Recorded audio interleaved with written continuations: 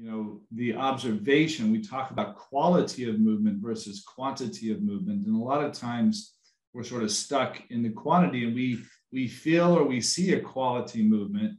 We don't quite know how to identify it, but we try to mimic it sometimes. And the mimic it is by trying to position correctly of what we saw or what we interpreted rather than what really is happening in that movement. Where are they allowing themselves to move? And that idea of novice to expert movement. So the novel mover will always over recruit, um, not sure where the movement or the organization is going to come from. I often think of riding a bike, and you know they start out and they're joy all over the place, and a week later they're like, "Hey, mom, look, no hands," and riding very efficiently on a bike and you know this this idea of moving from unconsciously incompetent movement not knowing what they don't know into unconsciously competent at the other end. And really it's not a end it's a you know it's a continuum. But you know how do we how do we make that work? I love the idea of um, can't teach movement from a position. And i think that's really important for the pilates teachers and the physical therapists that are on this webinar uh, because so often, you know, everything is assessed in static. That's one of the things I put up there is like, you know, does static alignment really tell us anything about movement? And I do want to preface this in the sense that most of us that are on the webinar right now are on that spectrum of pathokinesiology to performance kinesiology. And the key word is kinesiology, the science of movement we need to understand movement. And so, as a physical therapist, I'm trying to restore movement to a level of function, or as a performance practitioner, I'm trying to enhance their movement performance um, however I can, whatever tools I can use. Any thoughts on, on that idea, Eric, of, of sort of that continuum of, you know, our specialty is movement that's on this webinar. We are movers we teach movement, we restore movement. You know, what what's one of the first things you think of that you need to be an expert in to be able to work to work in this field?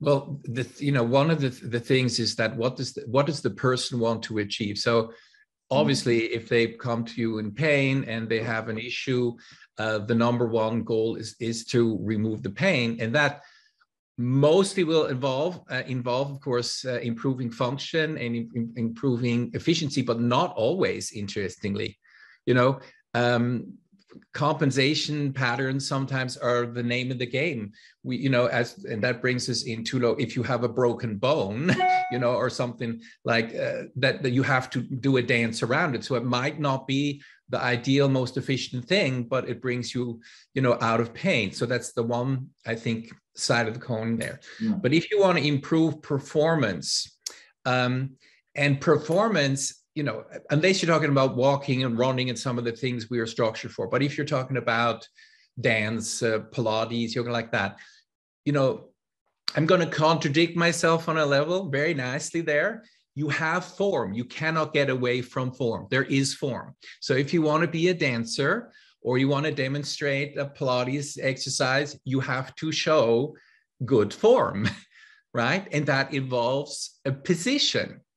And so the question is, how can you teach form and the kind of forms we work with, all of us, and exist with, but still maintain that dynamic alignment so that people don't say, okay, the goal is to look good in the mirror, you know, I mean, I'm not against that at all. It's great if it looks good in the mirror, but what if it also feels good? And what if it's also efficient?